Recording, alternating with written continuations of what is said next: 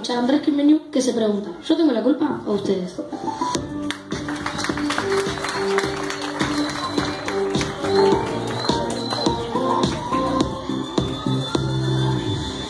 ¿Qué cosa? Esto no puede ser. No, no, no.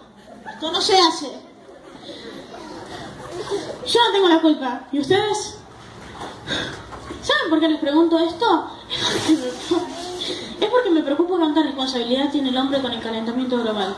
Pero primero, el calentamiento global se refiere a un aumento de temperatura del sistema climático de la Tierra, supuestamente generado a gran medida por contaminación y niveles de sodio o dióxido de carbono, expulsados al aire por el hombre que genera un efecto invernadero. Ahora, el efecto invernadero es causado cuando, no sé, el humo de deforestación o de una fábrica sube a la atmósfera y absorbe el calor que llega a la Tierra del Sol y no le deja volver a salir otra vez, contaminando el aire y causando más calor en el área.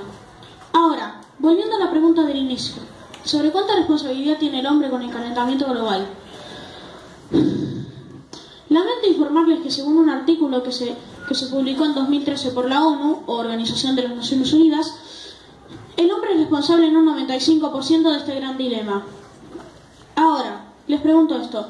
¿Cuántos de ustedes tienen un celular de última tecnología? Levanten las manos, por favor. ¿Cuántos de ustedes tienen, cuántos de ustedes les gusta la moda?